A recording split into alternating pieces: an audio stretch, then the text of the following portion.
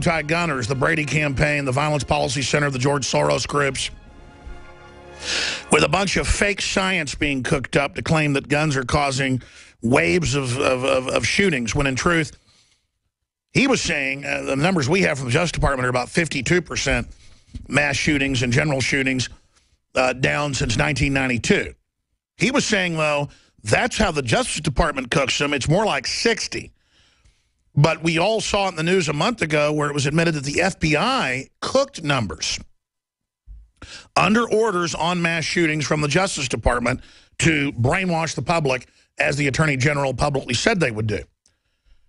Now, joining us is the man in the middle of it all, uh, right there on Capitol Hill, every day, tracking what's happening, the conscience of the NRA, as NRA board member Ted Nugent has said, without GOA, the NRA wouldn't have made their more hardcore turn, thank God, in the last three, four years.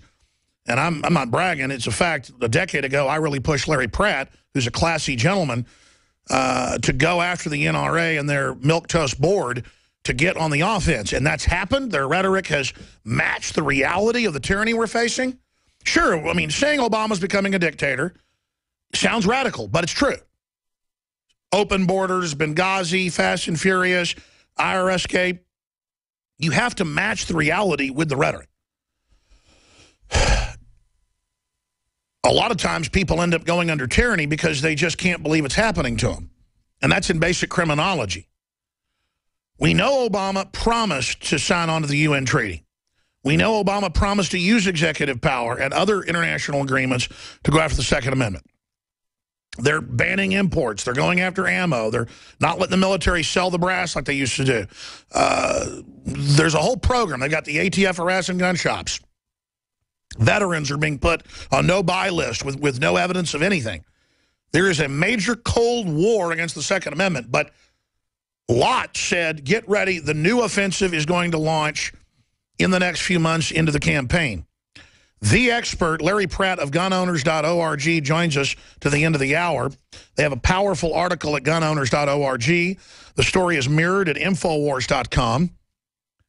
And I want to give him the floor as best I can to break all this down. Headline, Secret Deal could contain a myriad of gun control restrictions, uh, ammo bans. Will UN-style gun control be rammed down our throats? And then we've got the quotes of people in the system saying they'll use this to do it, and it's secret. Congress can't see it. They're trying to give the president fast-track authority. WikiLeaks stole, to their credit, uh, the Death Star plans last year, but uh, because they're leftists, though, only leaked the internet provision that's worse than SOPA and CISPA. So it's on. Internet taxes, regulations, internet IDs, it's on. Just like your cell phone tracks you, the internet now will no way to get around it. It's on. So Larry Pratt, uh, I think it's clear to say the next imperial offensive against the Republic is on. You're the general up there in the war room. Please give us the breakdown on exactly what cocktail of attacks are coming and what this secret treaty means. Hi, Alex. Thanks so much for uh, having an interest in this. I think that's going to be very helpful. The um, uh, members of Congress, uh, some at least some of the more liberal ones, might say, "Well, yeah, you, uh, you can find out what's in the uh, proposed treaty." Uh, yeah, right. You can go to a locked room in a basement, surrendering your cell phone before you get there. No pictures, no dictating notes to anybody, nothing with which to write. And then you may look at the proposed legislation one section at a time. And this is from the most open administration ever. you just, I mean, it, I guess we have to laugh, otherwise we'd be in a in a white suit coat. Uh, this is just absolutely outrageous. And one of the dangers, and there, there's got to be a myriad of dangers in this approach to legislation, but right now the bill is amendable. It's just a bill, and it's going to give authority uh, to the president to negotiate a treaty. And when that treaty comes back, the way this thing is being set up, it'll take two thirds of the Senate to overturn whatever might be in there, no amendments. And so this is the time to make any, say, protection amendments for the Second Amendment. And so far, we haven't been able to to get this of enough concern for a member of the Senate to say, okay, yeah, we got to put in an amendment blocking anything to do with ammunition or firearms, nothing to do with exports, nothing to do with imports, or whatever else our dear leader might think of to put into uh, this legislation, which will become a treaty. Uh, it's really outrageous and they're treating us like mushrooms in a cave. And I won't get into the weeds on how you feed those mushrooms, but it's not pretty. Well, your article at gunowners.org breaks down the subsections of what we know the UN-style gun control he says he'll do by treaty. I want to get an update on the UN treaty. Top secret TPP means you won't know what's in the bill. Again, the TPP is secret. This would just be a bill, basically, I guess, authorizing it. Some Republicans are being duped. I want to talk about that. Uh, they're probably being duped by all the campaign donations. Uh, what's the strategy to beat this? If we don't make enough noise about this and force them to say, oh, I didn't see what was coming on this. Yeah, I'll vote against this, or I'll at least make a motion to amend it in such a way that uh, the president can't diddle with firearms, uh, then it's going to go right on through. It's going to take the kind of public outcry that forced the administration to pull back on banning certain AR 15 ammunition. It only is a function of heat. And as the old Senator Dirksen was so fond of saying, uh, with his gravelly cigarette uh, uh affected voice, uh, when I feel the heat, I uh, see the light. and they haven't, they haven't felt the heat yet. So uh, I hope your listeners are reaching for a butane torch and will use it accordingly.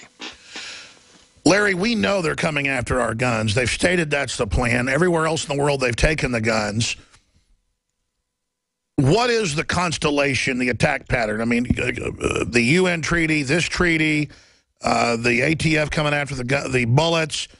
Uh, what's the main attack? Because I was talking to the professor, as I mentioned earlier, and he said he believes the biggest assault ever is about to begin. Well, the president gives every indication that Dr. Lott's concern is not frivolous. Uh, the president has said that he would use his cell phone and his pen to act when the Congress didn't act. Uh, forget that little problem about the legislation in our Constitution originating uh, with the Congress. Uh, but the president doesn't look at the Constitution as something to be obeyed. He looks at it as something to be overcome. And uh, that's what he spent the last six years doing. And uh, my concern is that now that he has no other elections for which he's ever going to be likely to be on the ballot, and any of the Democrats who are going to be running in 16 can plausibly say, well, the president's, you know, not going to be president anymore. I'm, you know, I'm my own man. And so he, they'll, have that plausible deniability. His ability to damage the Democrat name will be a lot less. And my guess is that we haven't seen the full Obama yet. He's getting ready to do it down and dirty. And and that's the pattern. I mean, we normally see when they can pardon themselves, pardon others, uh, when they can have their party turn on them, they can take the fall and get the agenda through. And we've already seen a massive acceleration of tyranny.